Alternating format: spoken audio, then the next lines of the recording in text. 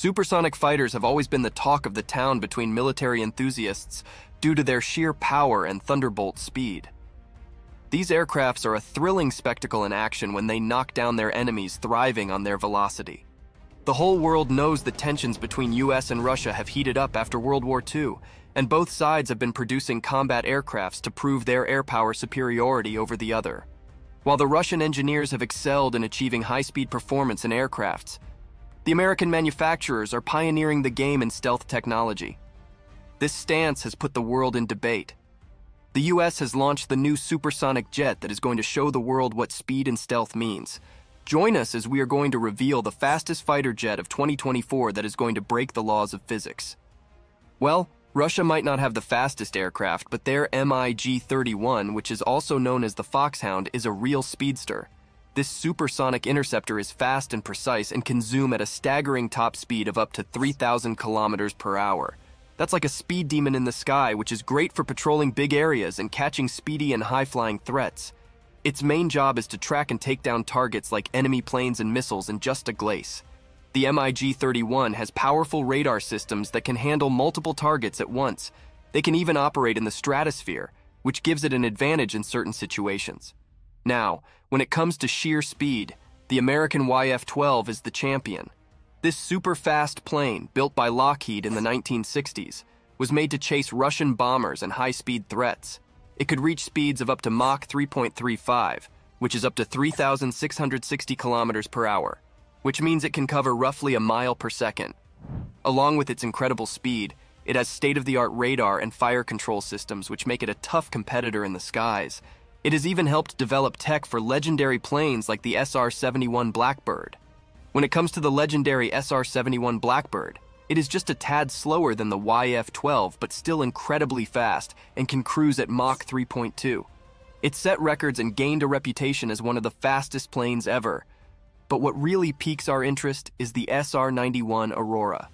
This plane is a mystery that's fascinated aviation fans and conspiracy theorists alike. The story began in 1990 when words got out about a secret project called Aurora. There were rumors that this project is getting massive funding. Then, in the early 90s, there were sightings and reports about a high-speed, triangle-shaped aircraft with a unique contrail. Even the British government got involved when an engineer claimed to have seen this mysterious plane refueling from a Boeing Stratotanker in the North Sea.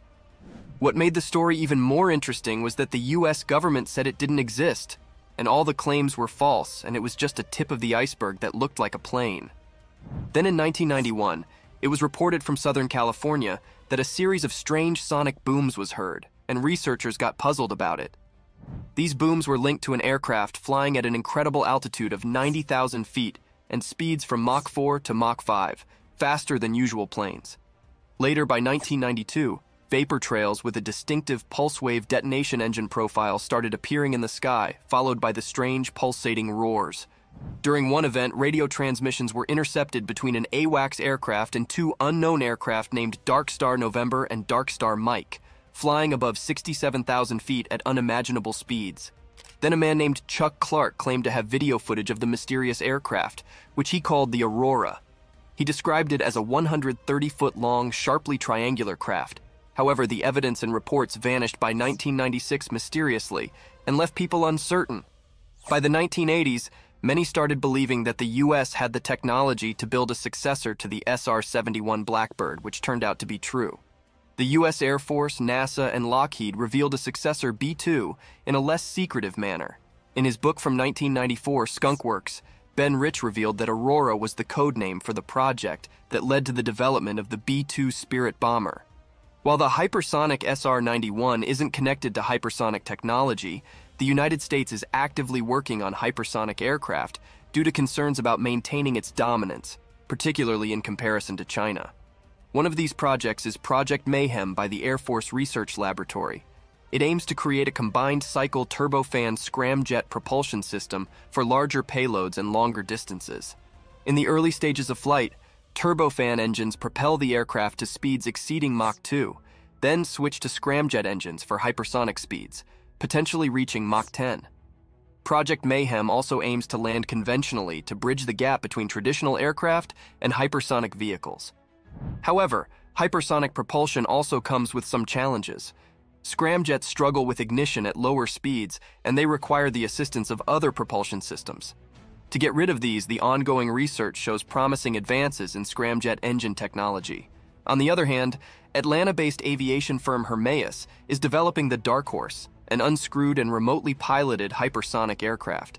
It employs a ramjet engine called Chimera with a combined cycle of $18 million. Ramjets slow down supersonic air before igniting it, which simplifies engineering and lowers costs, but it's expected to reach hypersonic speeds below Mach 6. To address these limitations that lower down the speed, Hermeus employs a turbine-based combined cycle engine that smoothly transitions between low-speed and high-speed operation like takeoff, cruise, and landing. The Pratt & Whitney F100 engine is chosen for the turbofan component of the Chimera engine, which successfully transitioned from turbofan to ramjet power in a 2022 wind tunnel test. They plan to test it on the Dark Horse in 2025. Hermeus will also develop a 20-passenger hypersonic aircraft named Halcyon in the future. To validate the Chimera engine, they are using the Quarter Horse that is a smaller testbed aircraft powered by a General Electric J85 engine in combination with a ramjet to achieve speeds exceeding Mach 4. The Dark Horse will have a dual role as a payload-carrying hypersonic testbed and an operational unmanned aerial system to serve the defense and intelligence clients. It will feature a scaled-up Chimera 2 propulsion system with Pratt & Amp Whitney F100 engine set to deliver 29,160 pounds of thrust, and an in-house developed ramjet for achieving hypersonic cruise speeds. The SR-71 Blackbird was made of titanium and was powered by Pratt & Whitney J58 engines. It achieved a top speed of Mach 3.2 and altitudes of up to 85,000 feet. However, the SR-91 Aurora that is rumored to double the speed of the SR-71 is nothing less than a mystery.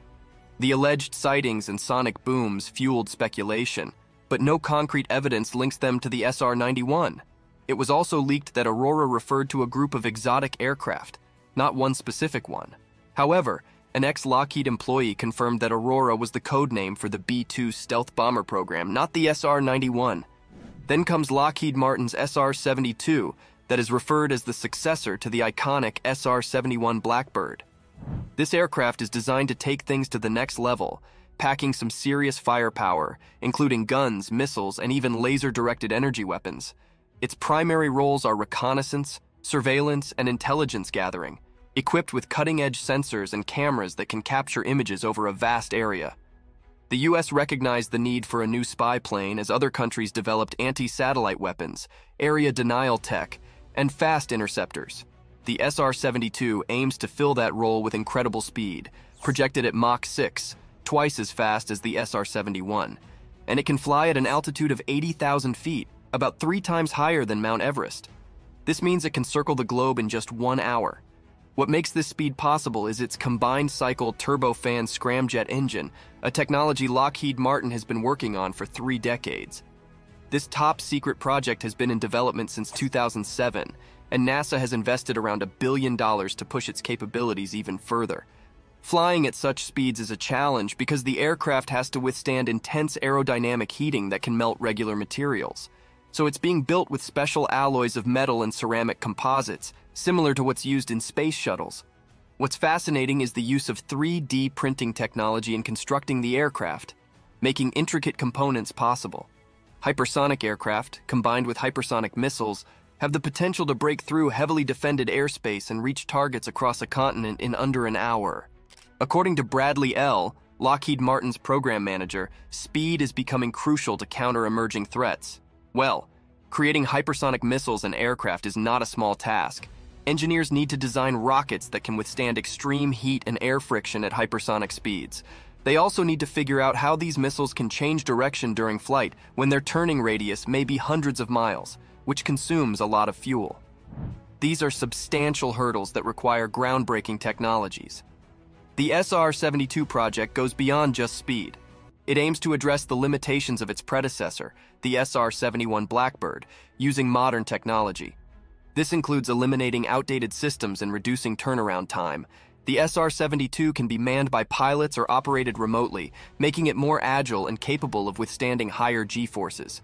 Some people believe that other supersonic aircraft, like the rumored Aurora, could exist, while the US government officially denies the existence of the Aurora. But experts like Bill Sweetman think it's possible. recent technological advancements have made it feasible to create such aircrafts, and the SR 72 program suggests it might have been used in other classified aircraft projects. To your surprise, there is even speculation about a mysterious $9 billion budget allocation in 2006, which has not been linked to any program yet. So it might be hiding the production of the Aurora spy plane. What are your thoughts on this? Let us know in the comments. If you enjoyed the video, make sure to subscribe to the channel, like the video, and watch the next video as well. See you again.